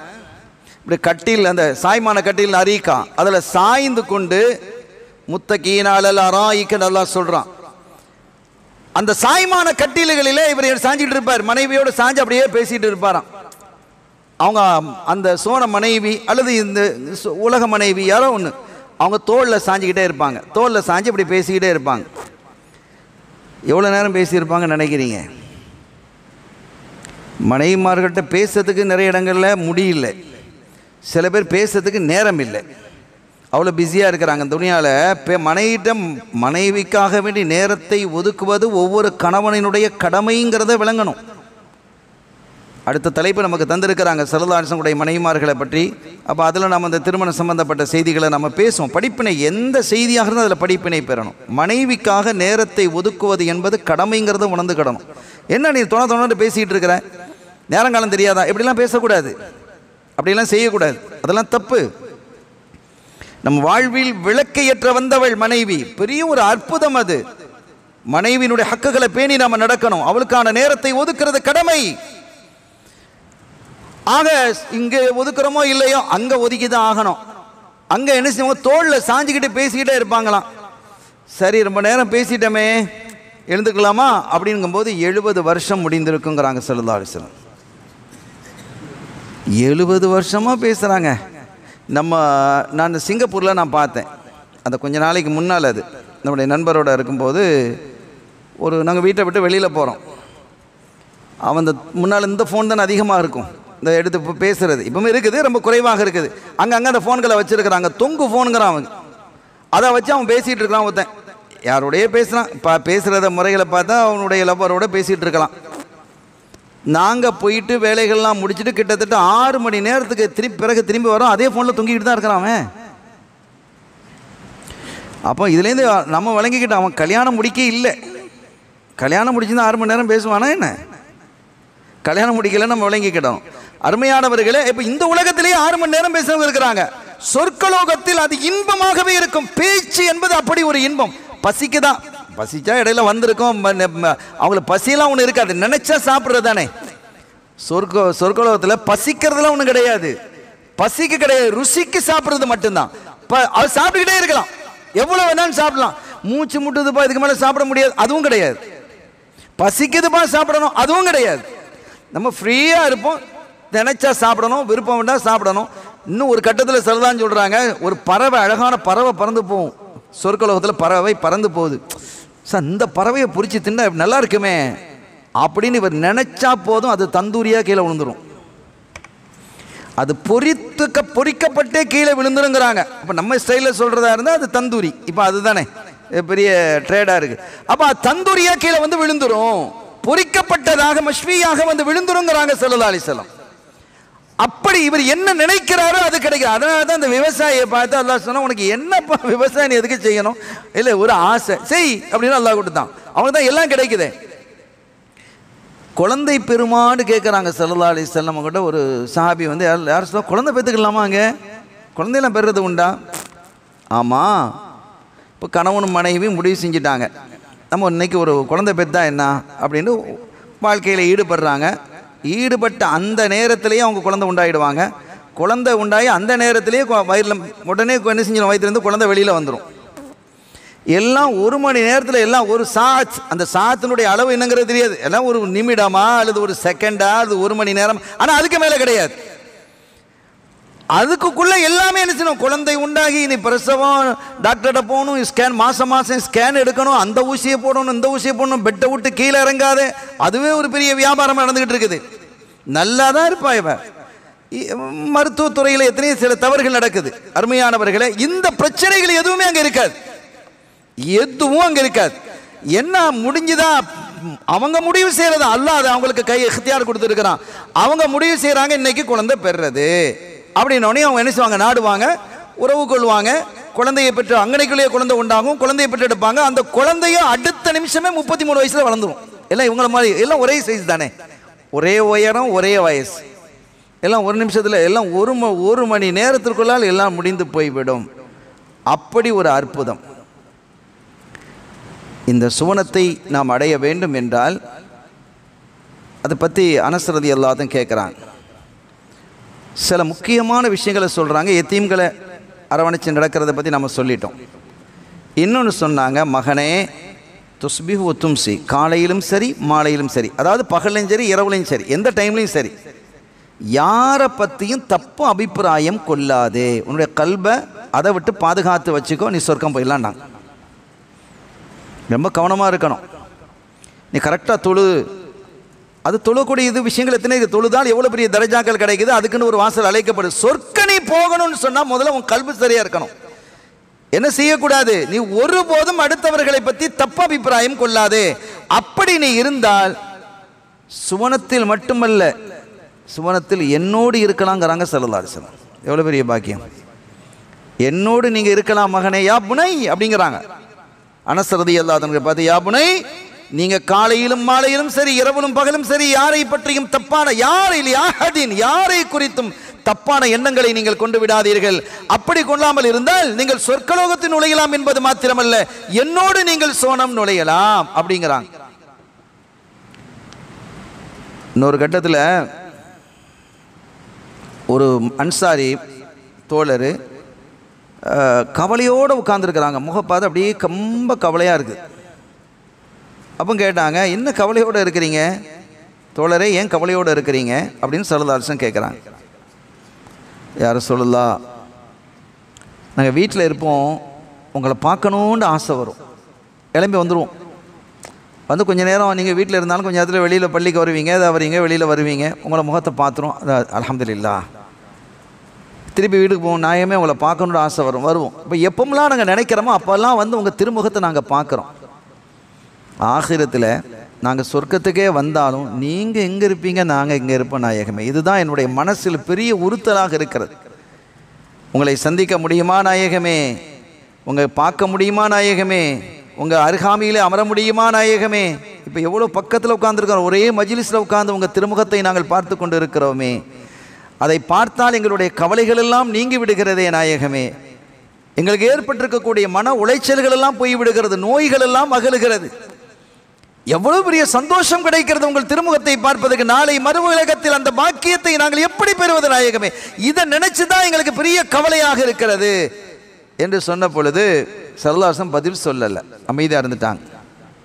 கொஞ்ச நேரத்தில் ஒரு வசனத்தை இருக்கிறான் மையுத்தி இல்லாஹ் ஒரு ரசூல் فأولئك مع الذين أنعم الله عليهم من النبيين والصديقين والشهداء والصالحين وحسن أولئك رفيقا அப்படிங்கிற வசனத்தை அல்லாஹ் இறக்குறான் யார் அல்லாவுக்கும் ரசூலுக்கும் கட்டுப்பட்டு நடக்கிறாங்களோ அதுக்கு நிறைய விளக்கம் வர எழுதுறாங்க அவர்கள் நாளை மறுவுலகத்தில் மல்லதீன அமல்லாஹு அலைஹிம் அல்லாஹ் யாருக்கு நியாமத்து கொடுத்தானோ அந்த நியாமத்து யாருக்கு கொடுத்தான்? நபிமார்கள் சித்திகின்கள் ஷோதாக்கள் சாலிஹின்களோடு இங்கே இருப்பாங்க. நபிமார்களோடு இருக்கக்கூடிய பாக்கியத்தை பெறுவார்கள் அப்படின்னு சொல்லிட்டு அந்த ஒரு ஹதீதை அதில் இணைப்பாங்க. குறிப்பாக இது இந்த இந்த பாக்கியம் யாருக்கு பெரும்பாலும் கிடைக்கும் என்று சொன்னால் அஹசனுகும் குலுக்கன் நற்குணம் உள்ளவர்கள். நல்ல குணமாக இருக்கணும். அவன் ஒரு குணங்கெட்டவன்பா நெருங்க முடியாது. அவன்கிட்ட பேச முடியாது. அவன்கிட்ட தொடர்பு கொள்ள முடியாது. அப்படின்னு பேசுகிற நிலைமைக்கு நம்மை வைத்துக் கொள்ளக்கூடாது. ஹொசுனுல் ஹுலுக் அழகிய குணம் என்பதுதான் மகத்தான பாக்கியமானது. ஆக நற்குணம் உள்ளவர்கள் சொர்க்கலோகத்திலே மிக எளிதாக நுழைய முடியும். எத்தீம்களை பராமரிப்பவர்கள் மிக எளிதிலே நுழைய முடியும். தான தர்மங்களை அள்ளி வழங்கக்கூடியவர்கள் நுழைய முடியும் என்பதை எல்லாம் இங்கே பார்க்கிறோம். இன்னொன்று சூழ் ஸல்லல்லாஹு சொல்லித் சொல்லி தர்றாங்க நீங்க பாங்கு சொல்றாங்களா இல்லையா? பாங்கு சொன்னதற்கு பிறகு நம்ம என்ன செய்யணும்? அதனுடைய துவா ஓதுறோம். அல்லாம ரப்பாஹாதி தாவதி தாமர் ஓதுறோம். அதில் வசீலா அவர்களுக்கு வசீலாவை கொடுங்கிற ஒன்று கேட்குறோம் ஆத்திகில் வசீலா. வசீலாண்டா என்ன? சொர்க்கலோகத்தில் ஒரு டாப் மோஸ்ட் இடம். ரொம்ப உயர்வான இடம் சொர்க்கலோகத்தில் இருக்குது அதுக்கு பேர் வசீலாண்டு ஒரு இடம். அந்த இடத்தை ரசூல் சல்லா அலிஸ்லாம் அவர்களுக்கு நீ வழங்குவாயாக அப்படின்னு நம்ம கேட்குறோமா இல்லையா? அல்லாஹ் யாருக்கு கொடுப்பான் அதை? அவங்களுக்கு தான் கொடுக்க போகிறான் அவங்களுக்கு இருக்க இருப்பதிலேயே மிக உயர்வான இடத்தை ரசூல் சல்லா அவர்களை விட்டுட்டு வேறு யாருக்கா அதெல்லாம் கொடுப்பானா? அது கொடுக்க போகிறது இல்லை. அது அவங்களுக்கு தான் உரித்தானவர்கள். சல்லல்லா அலிஸ்லாம் அப்படி இருந்தும் கூட அத்தகு அல்லாஹ் வாக்களிக்கவும் செய்கிறான் நீங்கள் அதை எனக்கு கிடைக்குமாறு நீங்கள் கேளுங்கன்னு அல்லாஹ் சொல்கிறோம் சல்லல்லா அலிஸ்லாம் சொல்லி தர்றாங்க. நீங்கள் அந்த துவாவில் அந்த வசீலா என்ற அற்புதமான இடத்தை எனக்கு தருவதற்காக அல்லாஹ் இடத்துல நீங்கள் பிரார்த்திங்க அப்படின்னு என்ன செய்கிறாங்க சல்லல்லா அரசு சொல்றாங்க நம்ம பிரார்த்தித்து நாம துவா செஞ்சு எல்லாம் அவங்களுக்கு கொடுக்கணுமா? இது எதை மாதிரி இருக்குன்னா இந்த முல்லா நசுருத்தீன் வந்து ஒரு யுத்தத்துக்கு போனார். போயிட்டு வந்து அவர் அப்படின்னு இப்படின்னு முல்லா நசுருதீன் பற்றி நிறைய பெரிய கதையெல்லாம் சொல்லுவாங்கல்ல ஒரு விகடமாக இருக்கும். சில சமயங்கள் ரொம்ப ஆச்சரியமாகவும் இருக்கும் ரொம்ப நுட்பமாகவும் இருக்கும். அவர் போயிட்டு வந்து சொல்கிறார் நாம் ஒருத்தன் வந்து மாட்டினாம் பாரு அவன்கிட்ட காலை துண்டு துண்டா வெட்டிட்டேன் அப்படின்றார் காலை துண்டு துண்டு துண்டு துண்டா வெட்டி போட்டேன் எதிரியே அப்படின்ட்டு. அப்போ முல்லா எல்லாரும் தலையை தானே வெட்டுவாங்க நீங்கள் ஏன் காலையை வெட்டணும்? காலை போய் வெட்டினீங்க. தலையை தான் ஏற்கனவே ஒருத்தன் வெட்டிட்டு போயிட்டானே. அப்படின்னு இவர் சொன்னாராம். அப்போ ஏற்கனவே செத்து போய் கிடக்கிறவன தான் இவன் காலை போய் வெட்டியிருக்கிறார். இப்போ நாம் கேட்குறோம் அல்லாஹ் கொடுப்பதாக வாக்களித்திருக்கிறான்னு அது அவங்களுக்கு தான் கிடைக்கும். முடிஞ்சு போச்சு. இதை போய் நாம ஏன் கேட்கணும்? ஏன் ரசூல் சல்லாஸ் கேட்க சொன்னாங்க? ஒரு மனிதன் வருவான் இந்த உம்மத்தில் ஒரு மனுஷன் வருவான். அவன் ஒரு பாவியாக இருப்பான். அவன் நரகத்துக்கு அனுப்பப்படும் போது சரதாசன் அவனை ஸ்டாப் பண்ணிவிட்டு யாருலா இவன் யார்? நிறைய பாவம் செஞ்சுருக்கிறான். ச பாவம் செஞ்சுருக்கிறான் சரி. இந்த பாங்கு அதான்க்கு பிறகு எனக்காக வேண்டி துவா கேட்டவன்ல இவனுடைய பெயர் இருக்கா? ஆமாம் இருக்குது. எனக்காக வசீலா என்ற அந்த இடத்தை தருவதற்காக பிரார்த்தித்த ஒருவனையா நீ நரகத்திற்கு அனுப்புகிறாய் ரஹமானே? என்ன கருணை நபிகள் நாயகம் செல்லதாஸ் எவ்வளோ ஹீலா இது எவ்வளோ பெரிய தந்திரம். தன்னுடைய உம்மத்தை எல்லாத்தையும் சொர்க்கத்தில் கொண்டு சேர்க்கணுங்கிறதுல எவ்வளவு பாரிய அன்பு கொண்டவர்களாக இருக்கிறாங்க. அவங்களுக்கு ஆல்ரெடி அவங்கள தவிர வேறு யாரும் அல்லாக்கு யாரும் கொடுக்க போகிறது இல்லை அல்ல ஆனாலும் அந்த இடத்தை கொடு என்று நாம் கேட்கிறோம் என்றால் அது செல்லலாரிசன் சொன்னதனால கேட்கிறோம் எதற்காக? நாளை நம்மை காப்பாற்றுவதற்காக. யார் எப்படி செய்கிறார்களோ அவருக்கு நான் விசேஷமாக ஷஃபாத்து செய்வேங்கிறான். சல்லன் சொல்றாங்க நான் அவருக்கு ஷஃபாத்து செய்வேன். அவருக்கு பிரத்யேகமான சிபாரிசு செய்வேன் என்று குறிப்பிடுகிறார்கள். எனவே இந்த துவாவை நாம் என்ன செய்யணும்? சரியாக ஓதி வந்தால் சொர்க்கம் செல்வதற்கான ஒரு வாய்ப்பு இருக்கிறது. அடுத்து சொன்னாங்க நீங்கள் சொர்க்கத்தை கேட்குறதுலாம் சரி எதை கேட்கணும்? சொர்க்கலோகத்துலேயும் ஜன்னத்துல் ஃபிர்தௌஸில் ஆயலாக கேங்க ஃபிர்தௌஸை கேளுங்கங்கிறாங்க. அதுதான் இருக்கிற ச சொர்க்கலோகத்திலேயே மிக உயர்வான சொர்க்கம். டாப் அதுதான். அது நடுவுலையும் இருக்கும் அது உயர்வான சொர்க்கம் அரிசிக்கு கீழே அது இருக்கிறது என்று கண்மணி செல்லல்லா அலிஸ்லாங்க சொல்கிறாங்க அந்த சொர்க்கலோகத்தை கேட்கணும் அப்படிங்கிறதையும் ரெண்டாவது இன்னொன்று சொல்கிறாங்க இன்னல்லாக பனாபி எதிகி அந்த ஃபிர்தோஸை தன்னுடைய கையினாலேயே உருவாக்கினான். அல்லாஹ் தன் கரத்தாலேயே உருவாக்கினான் என்றும் என்ன செய்கிறாங்க சொல்லி காட்டுறாங்க. சொர்க்கலோகத்தில் முதலாவது நுழையக்கூடியவர்கள் யார் தெரியுமா?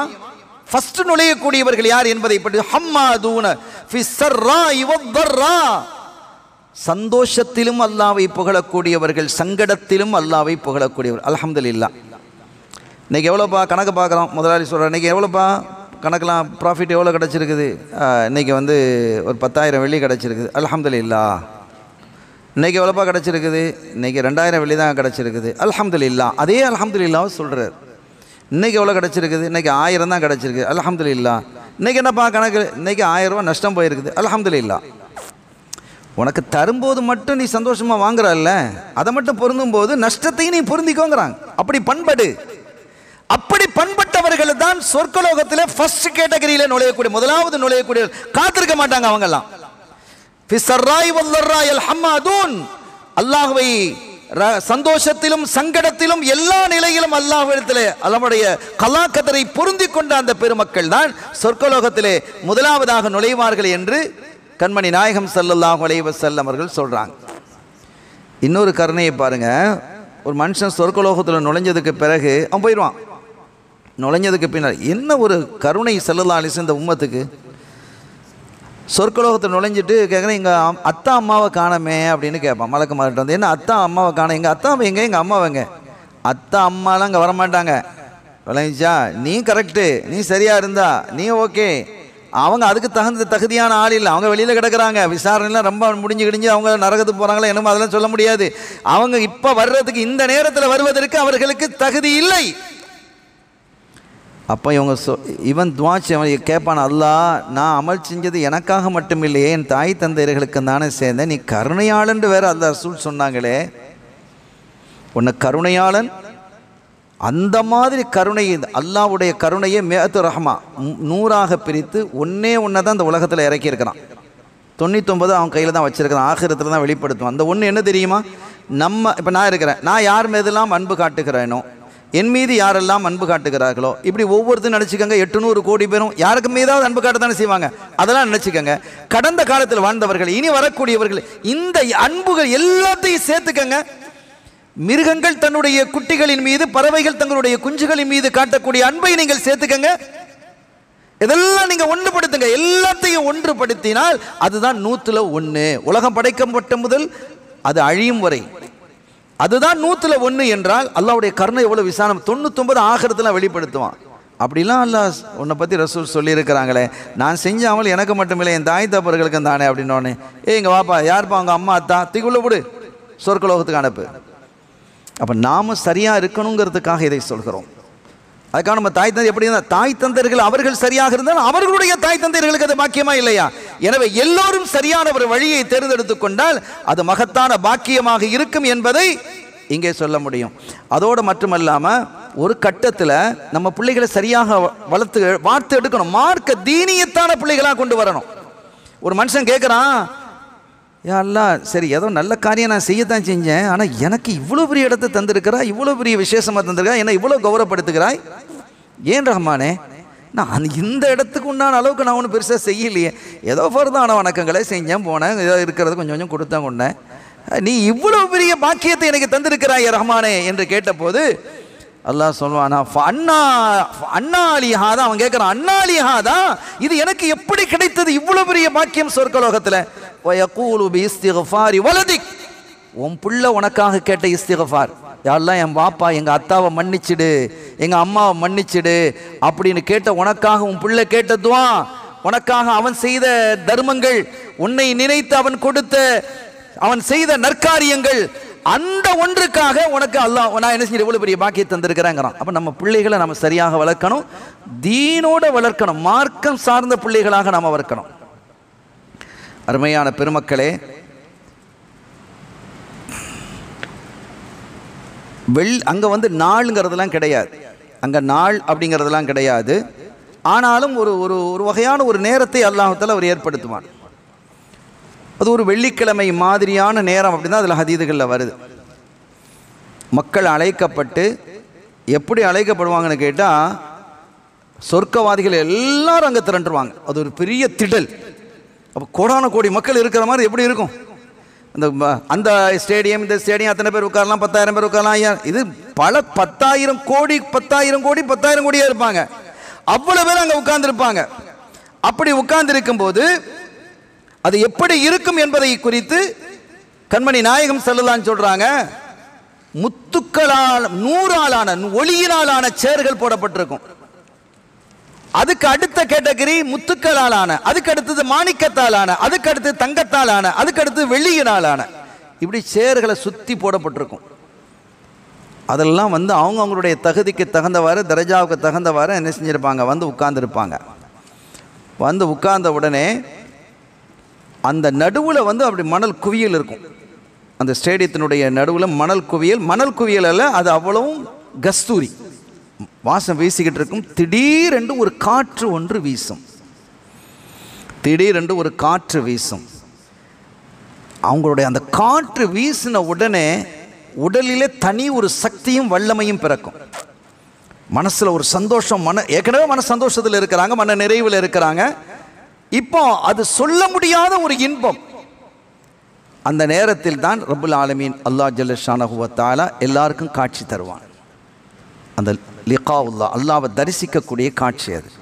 அது ஒரு பெரிய ஒரு நிகழ்வாகத்தான் அது நடக்கும்.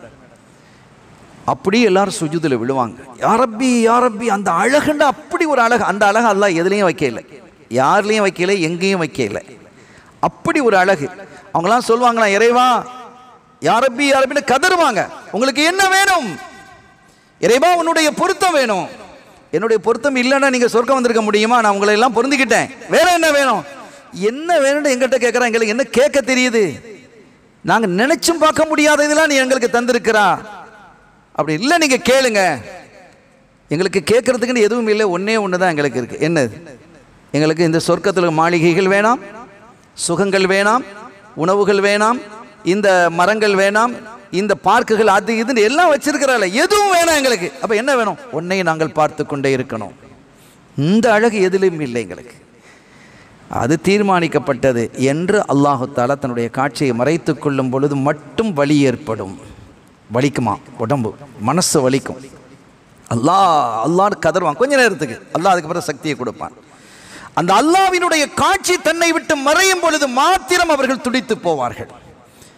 அந்த காட்சியை காணக்கூடிய பாக்கியத்தை அல்லாஹ் நமக்கும் நம்முடைய சந்ததிகளுக்கும் தந்தொடர்பு அளிப்பானாக இறுதியாக ஒரு செய்தியோடு நான் நிறைவுபடுத்துகிறேன். பத்திரிகையில் வந்த செய்தி. குவைத்தில் ஒருத்தர்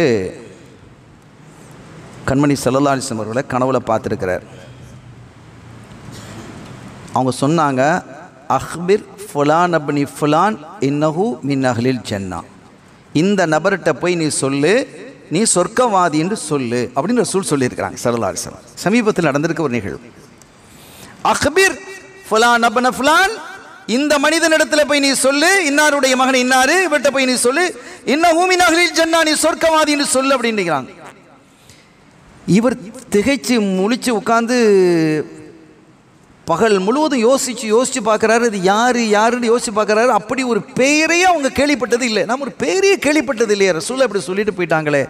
நம்ம எப்படி அவரை தெரிஞ்சுக்கிறது? இப்படி ஒரு பேரே நமக்கு கேள்விப்பட்டது இல்லையே. நம்முடைய சிந்தனையிலேயே ஞாபகத்தில் இல்லையா அல்லது மறந்துட்டோமா என்று எப்படி யோசிச்சு யோசிச்சு பார்க்குறாரு முடியல. இனி அப்படி ஒரு நாள் முடிஞ்சது அடுத்த நாள் தூக்கம். செல்லலாசன் திரும்ப வராங்க. அஹபீர் ஃபுலான் அப்படி ஃபுலானி இன்னஹூ மின் சென்னா அவர் சொர்க்கவாதின்னு போய் சொல்லிடு அப்படின்றான் இவர் காலில் இப்போ எழுந்த உடனே துடிச்சு போனார் இதுக்கு மேலே நம்ம சும்மா இருக்க முடியாது அப்படின்ட்டு தன்னுடைய நட்பு வட்டாரங்கள். இவர் இப்படி ஒரு பேர் நீங்கள் கேள்விப்பட்டிருக்கிறீங்களா அப்படின்னு தன்னுடைய ஊரில் இது எங்கே உலகத்தில் எங்கே இந்த ஆள் இருக்கிறான்னு தெரியல. இந்த ஊரில் குவைத்தில் இருக்கிறாரா வேறு எந்த நாட்டில் இருக்கிறாரா நம்ம ஊருக்குள்ளே இருக்கிறாரா சொந்தத்தில் இருக்கிறாரா? யார் எவருன்னு தெரியாம துடிச்சு போனான். அவர் எல்லா இடத்துலையும் தகவல் கொண்டு பேசியிருக்கிறார். அவர் சொல்கிறாரு நான் ஃபோன் டைரக்டரியை ஃபுல்லாக படித்து முடிச்சேங்கிறார். ஃபோன் டைரக்டர் எடுத்து அந்த பேர் இருக்கா அப்படின்னு தேடுறேங்கிறார். எல்லாம் தேடி பார்த்தேன். அந்த பேர் கிடைக்கவே இல்லை. எல்லாம் ரொம்ப பெரிய ஒரு ஆச்சரியம் போயிட்டு நான் பல ஊர்களில் என்னென்ன நண்பர்களாக இருக்கிறாரோ அவங்களுக்கெல்லாம் நான் சொல்ல ஆரம்பித்தேன். ஃபோன் பண்ணி பார்ப்பா இப்படி ஒரு ஆள் இருக்கா? அப்படின்னு தேடு அப்படின்னு. எந்த தகவலும் கிடைக்கல. இப்படி சில நாட்கள் போயிடுச்சு. போன பிறகு மூன்றாவது சல்லல்லா அலிஸ்னா வர்றாங்க. அஹ்பீர் ஃபுலான் அப்னில் ஃபுலானி இன்னஹு மின் ஜென்னா ஜன்னா அவர் சொர்க்கவாதி நீங்கள் அறிவிச்சிருங்க என்று சொல்லிட்டு அவர் ரியாலில் இன்ன அட்ரஸில் வசிக்கிறார். அந்த அட்ரஸையும் சொல்லிட்டு போயிட்டாங்க சரலார் சார். அப்போ முதல்ல ரெண்டு நாள் சொல்லலை. ரெண்டு கனவுல அவங்க சொல்லலை. ஆனால் மூணு நாள் கிடைக்கக்கூடிய பாக்கியம் இவருக்கு பார்க்கக்கூடிய பெரிய பாக்கியம் அது சரி. சரி நம்ம அந்த கனவை பற்றி பேசும்போது சொல்லணும். செல்லதாசங்களோட கனவுல பார்க்குற பாக்கியத்தை பற்றி பேசும்போது. இவர் என்ன செஞ்சுக்கிறார் உடனடியாக புறப்பட்டு அந்த ஊருக்கு போய் அதை விசாரிச்சு முன்னாடி எடுத்து அந்த இடத்துக்கு அந்த வீட்டுக்கு கரெக்டாக போயிட்டார். ஏன்னா அட்ரஸ் கரெக்டாக கொடுத்துட்டாங்களே. செல்லதாசனும் தந்திருக்கிறாங்க அட்ரஸ் அந்த வீட்டில் போய் கதவை தட்டி இருக்கிறாரு ஒரு மனுஷன் கதவை திறக்கிறாரு. அந்த மனிதரை பற்றி வந்து ரஜுலுல் ஆதி ஒரு சாதாரணமான ஒரு மனிதர் வந்து கதவை திறக்கிறாரு. ஒரு பெருசாக ஒரு பெரிய தோற்றம் ஒரு கம்பீரம் அப்படிலாம் ஒன்றும் இல்லை. ஒரு சாதாரணமான ஒரு நார்மல் மனுஷன் வந்து கதவை திறக்கிறார். நான் அவர்கிட்ட கேட்டேன் இந்த நபர் யாரு? அப்படின்னு கேட்குறேன் ஆனால் நான் தான். எனக்கு அப்படியே உடம்புலாம் ஆடிடுச்சு. ஆனால் நான் தான் அப்படிங்கிற. உள்ளே வாங்க. உள்ளே வந்து பேசுங்களேன் அப்படின்னு உள்ளே உட்காந்துருக்கு அப்போ நான் உள்ளே உட்காந்து என்ன விஷயமா வந்தீங்க? எங்கன்னா கோயத்துலேருந்து வர்றேன். என்ன விஷயம்? கண்மணி சல்லல்லாஹு அலைஹி செல்லம் அவர்கள் மூன்று நாள் கனவிலே வந்து நீங்கள் சொர்க்கவாதி சொர்க்கவாதி போய் சொல்லிடுன்னு சொன்னாங்க. உங்கள் பேரை சொல்லி அப்படின்னு சொன்னதும் அப்படியே அவர் அழுதுட்டார். அப்படியே நடுங்கி அழுதார். அல்லாஹும் அல்லாஹும் இனி மின் குல்லிதம் நான் எல்லா பாவத்தை விட்டு முன்னிடத்திலே தௌபா செய்கிறேன். அந்த இடத்துல தௌபா தான் செய்கிறார். அவர் அப்படி சொல்றார். அவர் தௌபா செய்தார். அப்படி அழுது துடிச்சு போனார். அப்போ ரொம்ப நேரத்துக்கு அவர் அப்படியே அழ விட்டுட்டு கொஞ்சம் நேரம் கழித்ததுக்கு பிறகு இவர் கேட்டிருக்கிறாரு இதனுடைய சிறு என்ன ரகசியம் என்ன நான் தெரிஞ்சுக்கிடலாமா? ஏன் இப்படி ரசூல் சல்லாசன் நீங்கள் சொர்க்கவாதின்னு மூணு தடவை என்று சொல்லிட்டு போயிட்டாங்களே? இது ஏதோ ஒன்று இருக்க போய் தானே அதை சொல்கிறாங்க அது என்ன நான் தெரிஞ்சுக்கிடலாமா? ஏதோ ஒரு நல்ல விஷயம் உங்கள்கிட்ட இருக்குது அதை சொல்லுங்களேன். அப்படிங்கும்போது அப்படியே தலையை கவிழ்ந்துட்டு ரொம்ப நேரம் கழித்து சொன்னார். நான் சொல்கிறேன் நீங்கள் இவ்வளோ தூரம் வந்திருக்கிறீங்க. ஆனால் ஒரு ஷரத்து என் பெயரை நீங்கள் யாரிடத்திலையும் உச்சரிக்கக்கூடாது யாரிடத்துலையும் சொல்லக்கூடாது. அப்படின்னா அந்த தகவலை நான் உங்களுக்கு சொல்கிறேன் சரி. என் பக்கத்து வீட்டுக்காரர் ஒருத்தர் இருந்தார். நல்ல ஒரு மனுஷர். அவர் மூத்தாயிட்டார். அவருக்கு மனைவி மக்கள் குடும்பம் இருக்குது அந்த குடும்பம் கஷ்டத்துலேயும் ரொம்ப பெரிய துன்பத்திலையும் அது இருக்குது நான் அதை பார்த்து பக்கத்து வீட்டுக்காரர் அண்டை வீட்டுக்காரனா பராமரிக்கணும்னு சொல்லி சொல்லியிருக்கிறாங்களே அப்படின்னு அவர் ரொம்ப கஷ்டத்தில் இருக்கிறாங்க. அவங்கள குழந்தைகள்லாம் இருக்குது. அந்த பெண்ணால் சமாளிக்க முடியல. ரொம்ப கஷ்டப்படுறாங்கன்னு தெரிஞ்சிருச்சு. நான் ஒரு ஒரு கம்பெனியில் ஒர்க்கா ஒர்க் பண்ணுறேன் ஒரு பணியாளராக தான் நான் இருக்கிறேன். ஒரு கம்பெனியில் நான் ஒர்க் பண்ணிக்கிட்டு இருக்கிறேன். எனக்கு அன்றிலிருந்து நான் என்ன செய்ய எனக்கு வரக்கூடிய சேலரியை நான் பெறக்கூடிய சேலரியை ரெண்டாக வைத்து என் குடும்பத்திற்கு பாதி அந்த குடும்பத்திற்கு பாதி என்று நான் அந்த பாதி அங்கே கொடுக்குறேன். ஆனால் அந்த பணம் யார் தர்றாங்கிறது அவங்களுக்கு தெரியாது. நான் அந்த மெத்தடில் கொடுக்குறேன். யாருக்கும் தெரியாது. இது ரகசியம். அல்லாவுக்கும் அல்லாஹ் ரசூலுக்கு எனக்கு இப்போ உங்களுக்கு தெரியுது. அந்த குடும்பத்திற்கு நான் கொடுக்குறேன். ஹத்தா ஜவுஜத்தி என்னுடைய மனைவிக்கும் அது தெரியாது. என்னுடைய மனைவிக்கும் அது தெரியாது. நான் என்ன செய்கிறேன்? அதை அப்படியே என்ன செஞ்சேன் அவங்களுக்கு சேர்ற மாதிரி என்னுடைய எனக்கு கிடைக்கக்கூடிய ராத்திபத்திலிருந்து அப்படியே சேலரியிலிருந்து பாதியை நான் அவர்களுக்கு அப்படியே நான் கொடுத்து விடுகிறேன். இது தான் நடந்திருக்குது. வேற ஒன்றும் பெருசாக நான் செய்யலை. சலதாரசன் இதை க கபூல் செஞ்சுருக்கிறாங்க. அல்லாஹ் இதை கபூல் செஞ்சுருக்கிறான் அப்படின்னு திரும்ப அழுதார். அருமையான பெருமக்களே அண்டை வீட்டுக்காரனுடைய ஹக்குகளை நாம் பேணி நடந்தால் சலதாரசங்களோடு இருக்கலாம். எத்தீம்களை பேணி நடந்தால் சலதாரசம் அவர்களோடு இருக்கலாம். அடுத்தவர்களை பற்றி தப்பு அபிப்பிராயம் கொள்ளாமல் நம்முடைய இதயத்தை பரிசுத்தப்படுத்தி கொண்டிருந்தால் கண்மணி சல்லல்லாஹிஸ்லாம் அவர்களோடு இருக்கலாம் என்பதை இந்த செய்தியின் வழியாக எனக்கும் உங்களுக்கும் இந்த நற்போதனையை புகட்டி என்னுடைய வார்த்தைகளை நிறைவுபடுத்துகிறேன். எல்லாம் வல்ல ரபுல் ஆலமின். அல்லாஹும் அவனுடைய பேரருளை பெறுவோமாக கண்மணி செல்லல்லாஹ் அலைவசனுடைய ஷஃபாத்தை பெறுவோமாக இந்த மஜிலிசை வல்ல அல்லாஹ் கபூல் செய்வானாக. ஈருலக சௌபாக்கியங்களையும் எனக்கும் உங்களுக்கும் நம்மை சார்ந்தவர்களுக்கும் நம்முடைய சந்ததிகளுக்கும் தந்தருள் பாலித்து நம் இதயவேந்தர் ஹாத்தம் ரசூல் முகமது ரசூலுல்லாய் செல்லல்லா அலிஸ்லம் அவர்களை கனவிலும் நனவிலும் பார்ப்பதற்கும் சோனலோகத்திலே அவர்களுடைய காலடியிலே அமர்ந்து எல்லாம் வல்ல அல்லாஹுவினுடைய திருளிக்கா என்ற அற்புதமான காட்சியை காணுவதற்கான பாக்கியத்தையும் அல்லாஹ் நம் எல்லோருக்கும் வழங்குவானாக. பிஹக்கி ஹபீபிஹி சல்லல்லா அலி செல்லம் எல்லாம் வல்ல அல்லாவின் அருளையும் சல்லல்லா அலிஸ்முடைய ஷஃபாத்தையும் பெறுவோமாக. வாஹிர் தாவான் அனில் அல்ஹம்துலில்லாஹி ரபில் ஆலமீன். வஸ்ஸலாமு அலைக்கும் வரஹ்மத்துல்லாஹி வபரகாத்து சல்லல்லாஹு அலா முஹம்மத் சல்லல்லாஹு அலைஹி வஸல்லம். சல்லல்லாஹு அலா முஹம்மத் சல்லல்லாஹு அலைஹி வஸல்லம். صلى الله على محمد. يا ربي صل وسلم. السلام عليكم